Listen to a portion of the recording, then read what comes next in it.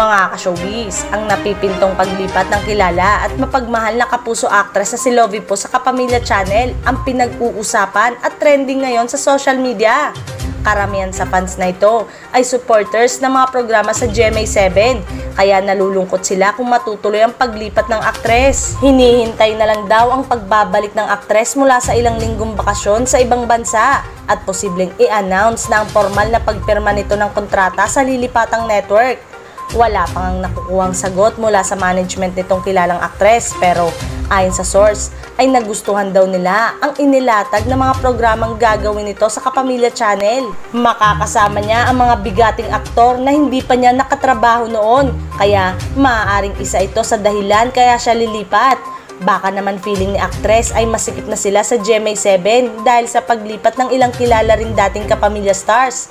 Tanong naman ng ilan ay bakit umano nag-decide si kilala at mapagmahal na aktres na iwan ng network na nagbigay sa kanya ng pangalan at nag-develop para maging isa sa pinakamagaling na aktres sa kanyang henerasyon.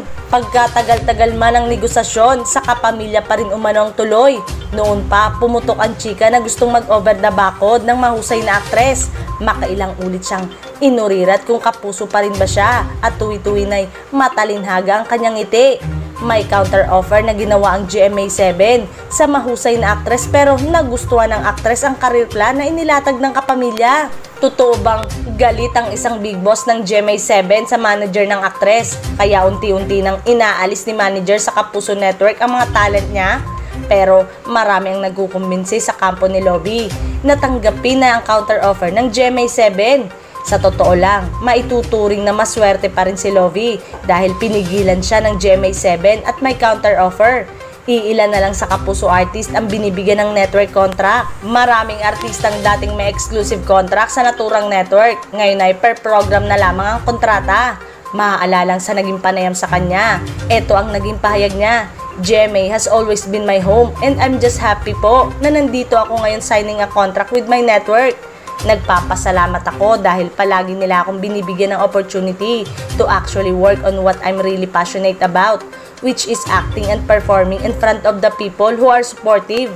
Ngunit ngayon nga natuloy na ang pagiging kapamilya nito. Artistic growth ang dahilan ng paglipat ng aktres sa kapamilya. Kaya naman, huwag na sana magalit ang ilan niyang tagahanga na hindi gusto ang napipinto niyang paglipat magbigay lamang po tayo ng komento at opinion. At kung bago ka lang sa aking channel, ay huwag mong kalimutang mag-like at mag-subscribe at pindutin mo na rin ang notification bell button para updated kayo sa mga showbiz balita. So that's it mga showbiz.